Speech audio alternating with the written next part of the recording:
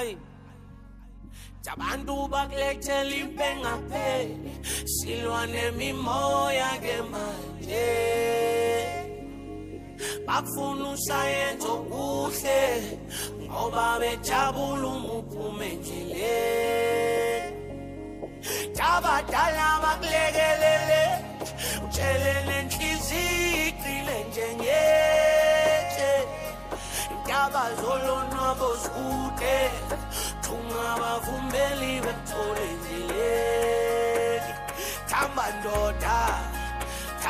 mfazi thawuzoninkinga zakho feza amaphupho akho. Thuma ucabanga ngezono thuthola iguqe ngedona thanda inkosi ixolele nabo abakwazi abakuzonayo